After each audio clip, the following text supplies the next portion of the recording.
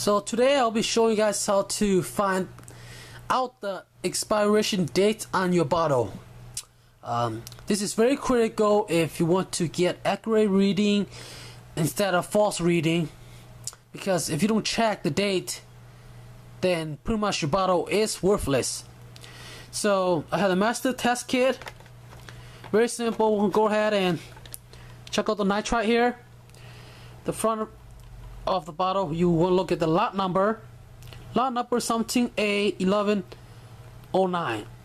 Look, we will look at the last four digit number 1109. This was this was made in November of 2009. And with nitrite, they only last three years. So this is 3.5 years already, and this has already expired.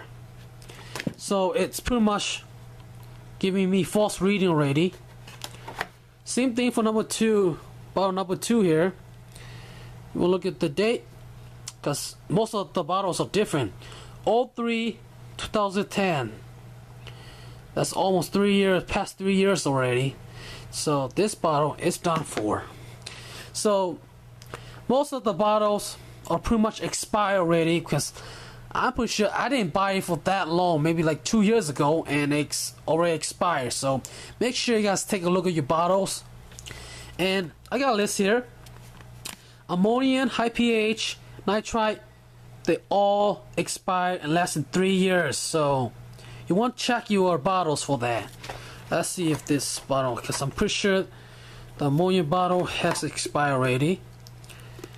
If you look at the number up there, all 03 2010, that's expired. 03 2010, that's expired. That's more than three years. So pretty much all this bottle have expired and you shouldn't really trust it anymore. So it's probably time to get a new uh, test kit and throw the rest out.